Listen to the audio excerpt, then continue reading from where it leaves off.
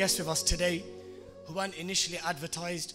It would be absolutely wrong of me and Five Pillars not to invite them to say a few words.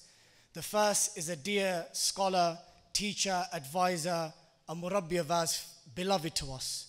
He doesn't need no introduction, and that's none other than Dr. Sheikh Haitham al-Haddad, hafidhahullah. Sheikh.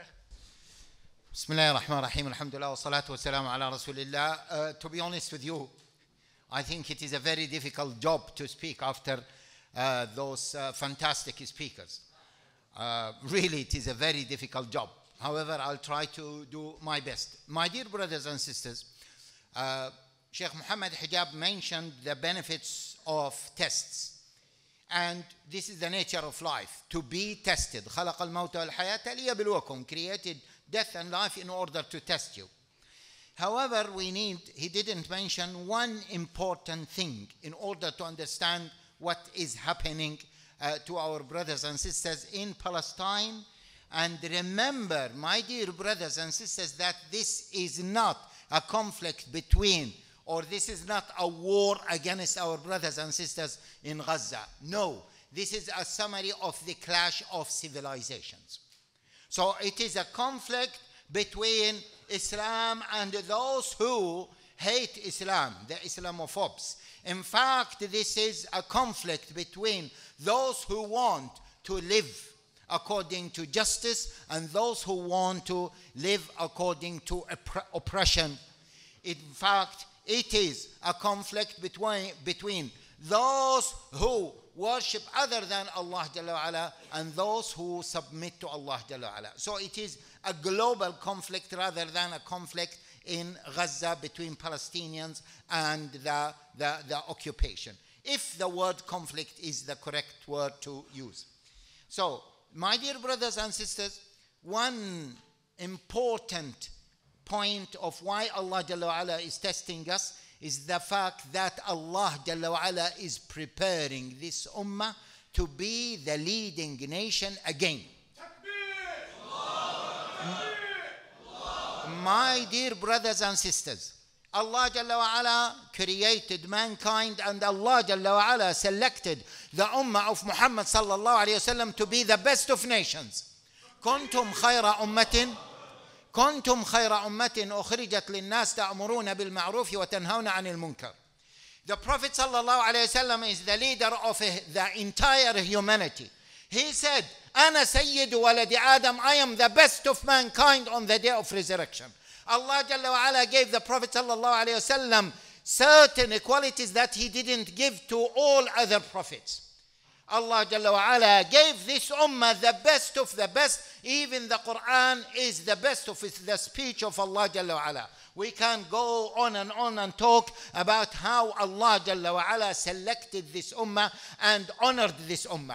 Allah Jalla wa ala does not want this ummah to be a backward ummah. Allah Jalla wa ala wants some one thing from this ummah is to be the leader of all nations. That's it. Again, my dear brothers and sisters, we have to understand this. Allah Jalla wa ala wants us to be the leading nation. كنتم خير أمة أخرجت للناس. That's it. The Prophet sallallahu alaihi wasallam is the leader of the entire humanity.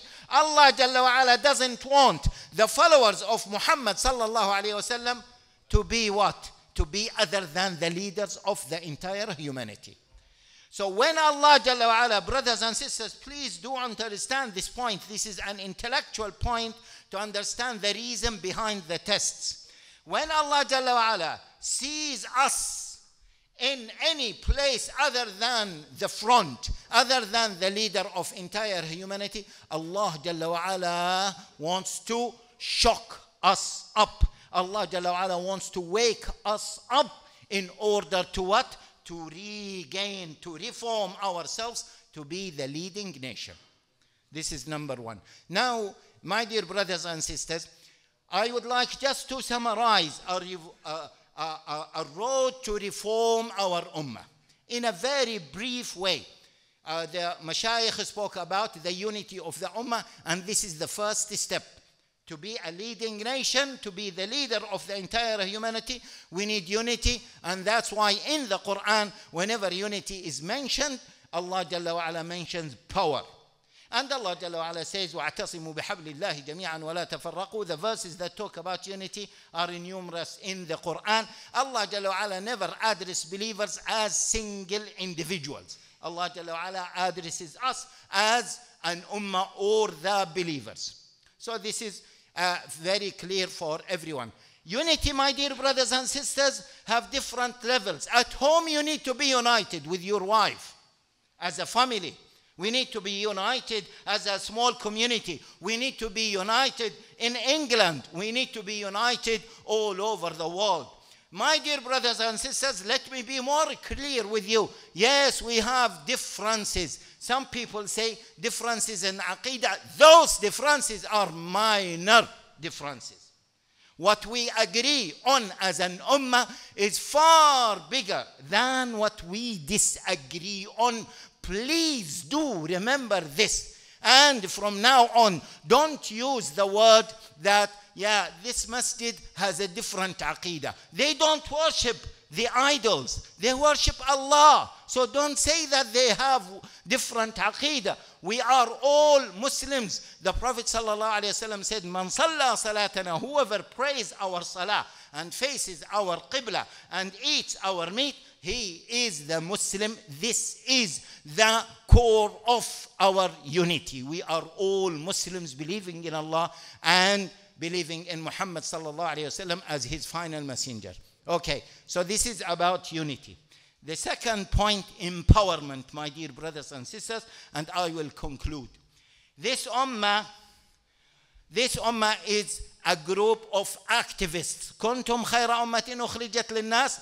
Allah Jalla wa mentioned what in the beginning? Their activism. تأمرون بالمعروف وتنهون عن المنكر. If this ummah if this ummah is not an active ummah, it will not flourish and it will be vanished. So that's why every single one of us, my dear brothers and sisters, has to be an activist. You are a Muslim, it means that you should be an activist. A Muslim should be an activist, not only in politics, but I'll just mention a few points or a few directions of activism in politics, number one. Number two, in judiciary, we need many lawyers in order to defend ourselves and to find loopholes. And we have seen our brother, mashallah, uh, Karim, how he, because of his legal background, had how he can defend so many cases and explain so many issues about the conflict. So, law. The third one is media, and I'm sure every single one of you agrees on this. The, third, the fourth point, economy. We need to be a rich community, my dear brothers and sisters. The Prophet ﷺ said, Al-mu'min al-qawi khayrun wa ahabbu ilallah min al-mu'mini al-da'if. And the fifth point after that, socially we need to be active. And then the sixth point, education. We need to be influential in education in general because that is the future for our ummah. And the final point, we need to be very active in terms of da'wah. Brothers and sisters, we have so many areas in, in the UK where we have majority of Muslims. What is our influence in those areas?